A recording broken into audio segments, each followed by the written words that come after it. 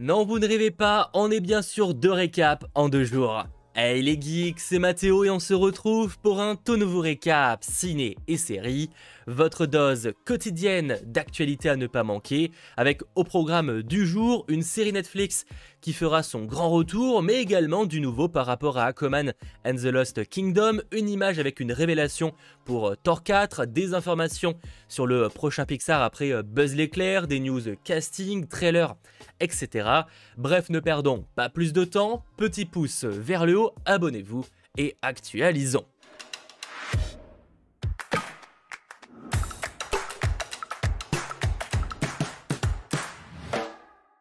On commence directement par une superbe nouvelle après des années euh, d'incertitude.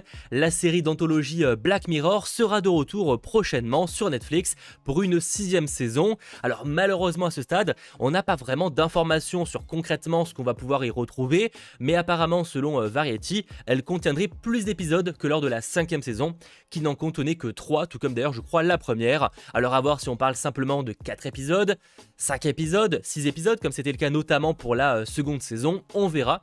Mais en tout cas, c'est une très très bonne nouvelle, sachant aussi, selon les informations de Variety, qu'il y aura une volonté de proposer des épisodes encore plus cinématographiques. Après patience, c'est pas prêt de débarquer, on va dire plutôt sur une sortie en 2023 sur Netflix. Autre news qui fait également euh, très plaisir côté euh, casting, l'acteur euh, Tom Bliss a été casté pour incarner le jeune président Snow dans le préquel de Hunger Games, basé sur le roman La balade du serpent et de l'oiseau chanteur, et ça va prendre place environ une soixantaine d'années avant la trilogie avec Jennifer Lawrence, avec un jeune Snow âgé là de 18 ans, sur le point d'organiser les 10e Hunger Games, sortie prévue en novembre 2023, et j'ai personnellement assez hâte. Même si je dois l'admettre, je n'ai toujours pas encore lu le roman, mais j'ai eu d'assez bons retour à son sujet, et d'ailleurs visiblement, selon euh, ceux qui ont pu le lire, le casting est un bon choix, donc je suis assez ravi et assez hâte d'avoir les premières images et surtout que le tournage commence réellement. Toujours côté casting, on a appris que Ed Skrein va remplacer Rupert Friend dans le film de science-fiction euh, de Netflix réalisé par Zack Snyder du nom de Rebel Moon, et on apprend également que Cleopatra Coleman Frafri, vu dernièrement d'ailleurs dans la série Hawkeye, ou encore Ryan Reese rejoignent le casting, et je rappelle que Rebel Moon tourne en ce moment même, et que sa sortie est prévue euh, sur Netflix prochainement. Et en parlant d'ailleurs euh, de Netflix, on aura les premières images pas de nouvelles images aujourd'hui. Un premier trailer pour Spider-Head avec Chris Hemsworth débarque aujourd'hui, sachant que le film est prévu dans un mois pour le 17 juin sur la plateforme. On passe ainsi sur une news totalement autre. Je vous l'avais teasé en intro qu'on allait évoquer le cas de Aquaman the Lost Kingdom. Et eh bien suite au départ de Johnny Depp des animaux euh, fantastiques, beaucoup réclamaient le départ de Amber Heard, notamment de la licence Aquaman, qui pour rappel a été maintenant reporté pour une sortie début 2023. Et bien lors de son procès qui est en cours en ce moment même face à Johnny Depp, elle a révélé qu'elle s'est battue très fort pour rester euh, dans le film et que Warner Bros voulait la retirer de ce euh, second opus et qu'elle n'a donc tourné que peu de scènes puisque la plupart ont été retirés du script a évidemment précisé qu'il s'agit de ses dires, mais en tout cas pour ceux inquiets qu'on verrait beaucoup Amber Heard dans le film, visiblement c'est pas trop le cas. Autre news qui n'a strictement rien à voir, on a eu le droit hier aux premières images du film Prey, qui est un préquel au film Predator hein, pour rappel, et pour ceux qui ne connaîtraient pas du tout l'univers de Predator, hein, vous savez c'est sur une race d'aliens surévolués qui arrive sur Terre et qui globalement fait un massacre. Bref, l'action de ce euh, préquel se déroulera au temps des Comanches il y a environ 300 euh, ans, et raconte comment une guerrière euh, Naru, qui est élevée depuis son plus jeune âge dans l'ombre de légendaires chasseurs parcourant les grandes plaines, se fait désormais un devoir de protéger euh, sa tribu dès qu'un danger la menace. Elle va découvrir que la proie qu'elle traque en ce moment est un prédateur extraterrestre particulièrement évolué et doté d'un arsenal de pointe des plus sophistiqués. Une confrontation aussi euh, perverse que terrifiante s'engage entre les deux adversaires. A savoir que Disney a annoncé que l'équipe de près s'est engagée vraiment à dresser le plus précisément possible le portrait de la nation Comanche. À l'affiche de ce film, on retrouve Amber Midhunter, vu notamment dans Légion ou encore la série Roswell New Mexico, et c'est réalisé par Dan Trachtenberg, à qui l'on doit l'excellent film Ten Cloverfield Lane. En tout cas, moi, c'est un film à huis clos que j'avais beaucoup aimé. Ça sortira le 5 août sur Disney+, et perso, j'ai assez hâte, même si forcément assez inquiet.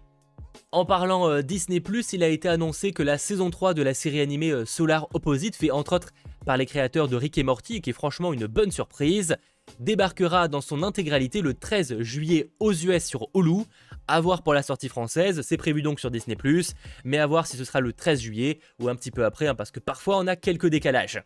Par ailleurs, en parlant également animation, on a eu le droit aux premières informations sur le prochain Pixar, qui sortira après euh, Buzz l'éclair cet été. Disney a donc levé le voile sur Elemental, sachant que Elemental c'est le titre VO, on n'a pas encore le titre français pour l'instant. Il sortira un an après euh, Buzz l'éclair en juin 2023 et sera réalisé par Peterson à qui l'on doit entre autres Le Voyage d'Arlo, un film que personnellement je trouve trop sous-coté.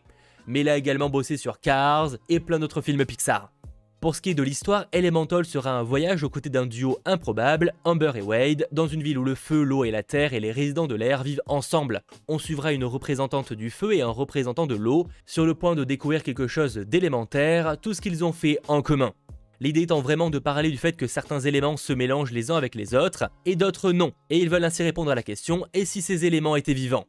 Ils ont pour l'occasion dévoilé un premier euh, concept art, donc n'hésitez pas à me faire vos retours sur ce dernier, franchement c'est assez euh, prometteur, ça m'a un petit peu rappelé euh, vice versa, que ce soit avec le logo et également le concept art, donc en soi vice versa étant un excellent film, je suis chaud, mais patience, ça arrivera donc dans quelques temps, en juin 2023. Voilà plus ou moins les news qu'il ne fallait pas manquer et avant de parler de Thor 4 et d'un possible spoil, c'est pour ça que j'en parle en fin de vidéo, n'hésitez pas à lâcher le petit pouce vers le haut, à vous abonner. Et concernant donc l'image que je voulais vous partager, c'est celle-ci. On a le droit donc à un nouveau regard sur Valkyrie et euh, Jane Foster dans Thor 4, prévu je le rappelle cet été euh, dans les salles, mais euh, très intéressant. On a également un autre personnage qui est juste en bas de l'écran et il s'agit visiblement de la déesse Bast évoquée dans le film Black Panther étant la déesse du Wakanda. Le fait de voir ces trois personnages-là, tous sur un sorte de trône, on peut imaginer que c'est un genre de conseil des dieux pour trouver pourquoi pas une solution face à Gore qui veut tous les exterminer. Honnêtement, ça hype énormément, donc à ça d'avoir plus d'images et surtout de réellement découvrir le film. On se retrouve en tout cas très vite pour de nouvelles vidéos, que ce soit sur la chaîne YouTube, mais également sur Twitch en live. C'était votre geek, Mathéo. Ciao tout le monde